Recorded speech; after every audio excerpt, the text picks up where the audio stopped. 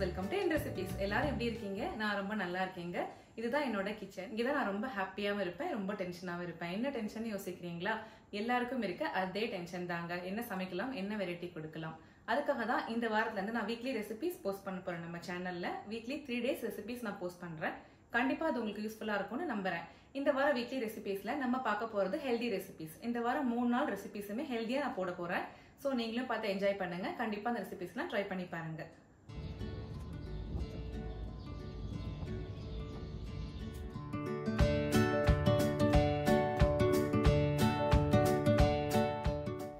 ஃபஸ்ட்டாக நம்ம பார்க்க போகிற ரெசிபி கம்பஞ்சோறு. அதுக்கு கம்பு நான் ஒரு கப் எடுத்து ஊற வச்சுருக்கேன். ஒரு டூ ஹவர்ஸ் கம்பல்சரி இது ஊறணும். நல்லா ஊறினதுக்கு அப்புறமா தண்ணி வடிச்சிக்கலாம். பாருங்கள் இந்த மாதிரி நல்லா ஊறி வந்திருக்கும். தண்ணியெல்லாம் வடிகட்டி வச்சுக்கோங்க. தண்ணி கொஞ்சம் கூட இருக்க வேண்டாம். இப்போ இது ஒரு மிக்சி ஜாருக்கு மாற்றிக்கலாம் மாற்றி ஒன்று ரெண்டாக அடித்து எடுத்துக்கலாம். அப்போ தான் சாதா மாதிரி நல்லாயிருக்கும் நமக்கு. கொஞ்சம் கொஞ்சமாக போட்டு நம்ம இந்த மாதிரி அரைச்சி எடுத்துக்கலாம். ஒன்று ரெண்டா? இந்த மாதிரி அரைச்சா போதும். இல்லை உங்களுக்கு இன்னும் கொஞ்சம் நைஸாக வேணும்னா அடிச்சுக்கலாம். பட் ரொம்ப நைஸாக அடிக்க வேண்டாம். இப்போ எல்லாமே அடித்து எடுத்தாச்சு. குக்கரில் நம்ம தண்ணி சேர்த்துக்கலாம். இதில் ஒரு கப் நான் கம்பு எடுத்திருக்கேன். அதுக்கு மூணு கப் அளவு தண்ணி சேர்த்துக்கலாம்.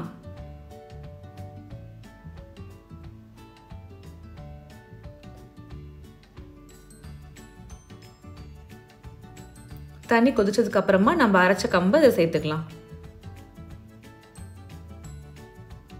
இப்போ இந்த அரைச்ச கம்பெல்லாம் இதில் நான் போடுறேன். வேக வைக்கும் போதே கொஞ்சமாக இதில் உப்பும் சேர்த்துக்கலாம்.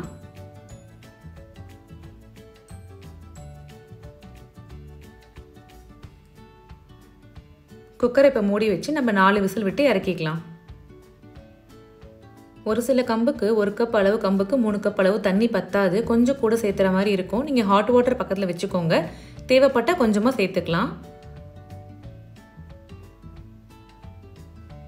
ஓப்பன் பண்ணிவிட்டு இந்த மாதிரி கிளறி விட்டுக்கோங்க. இந்த மாதிரி கன்சிஸ்டன்சியில் தான் இருக்கணும். கொஞ்சம் நேரம் கழிச்சு அது இறுகி கொடுக்கும்போது நமக்கு அது கெட்டியாக வந்துடும் இது நல்லா ஆறுனதுக்கு அப்புறமா நம்ம உருண்டை பிடிச்சி வச்சுக்கலாம். இப்போ ஒரு டூ ஹவர்ஸ் ஆயிடுச்சு. நல்லா ஆறிடுச்சு. நான் இப்போ இது உருண்டை பிடிச்சி வச்சுக்க போகிறேன் உருண்டை பிடிச்சி ஒரு தண்ணிக்குள்ளே போட்டு வச்சுக்கிறதுக்காக நல்ல தண்ணியை பாத்திரத்தில் எடுத்து வச்சுருக்கேன். இந்த மாதிரி கரண்டியில் நம்ம வலிச்சு எடுத்துக்கலாம். கையில் தண்ணி தொட்டுட்டு நம்ம இந்த மாதிரி உருண்டை பிடிச்சி வச்சுக்கலாம். இந்த உருண்டையை கரைச்சா நம்ம ரெண்டு பேர் குடிக்கலாம். ஸோ அந்தளவுக்கு இப்போ நான் ரெடி பண்ணி வச்சுருக்கேன். உங்களுக்கு ஃபேமிலிக்கு எந்த அளவுக்கு வேணுமோ எவ்வளோ பெரிய உருண்டையாக வேணுமோ நீங்கள் பிடிச்சி வச்சுக்கலாம். இந்த மாதிரி நம்ம தண்ணிக்குள்ளே போட்டுக்கலாம். இதை உடனே நம்ம சாப்பிட்ற மாதிரி இருந்தால் சுகர் சேர்த்திக்கலாம். இல்லைனா நம்ம கீரை குழம்பு வச்சு சாப்பிட்டுக்கலாம். நெக்ஸ்ட் டே மார்னிங் சாப்பிட்ற மாதிரி இருந்தால் தண்ணிக்குள்ளே இந்த மாதிரி போட்டு ஒரு எயிட் ஹவர்ஸ் புளிக்கிறதுக்கு வெளியிலே வச்சுக்கோங்க. எட்டு மணி நேரத்துக்கு அப்புறமா ஒரு உருண்டையே ஒரு பவுல் எடுத்து மாற்றிக்கலாம் அந்த தண்ணியவே கொஞ்சமாக ஊற்றிட்டு அதுக்கப்புறமா தயிர் உப்பு சேர்த்துக்கலாம். நல்லா இந்த மாதிரி கையிலே கரைச்சி விட்டுக்கோங்க. ரொம்பவும் ஹெல்த்தியான ரெசிபி வெயில் காலத்துக்கு சாப்பாடலாம் ரொம்பவே நல்லாயிருக்கும் இது. இந்த மாதிரி சின்ன வெங்காயம் கொஞ்சம் சேர்த்துக்கலாம். உப்பு நீங்கள் பார்த்துட்டு சேர்த்துக்கோங்க. இதுக்கு நமக்கு மோர் மிளகா வத்தலோடு சேர்த்து சாப்பிட்டா ரொம்பவே சுவையாக இருக்கும். இந்த ரெசிபியை நீங்களும் ட்ரை பண்ணி பாருங்கள் பிடிச்சிருந்தா மறக்காமல் கீழே கமெண்ட் பாக்ஸில் கமெண்ட் பண்ணுங்கள் ஃபஸ்ட் டைம் பார்க்குறவங்க எல்லாரும் நம்ம சேனலை மறக்காமல் சப்ஸ்கிரைப் பண்ணிக்கோங்க. அந்த பெல் ஐக்கானையும் மறக்காமல் ப்ரெஸ் பண்ணிக்கோங்க. தேங்க்ஸ் ஃபார் வாட்சிங்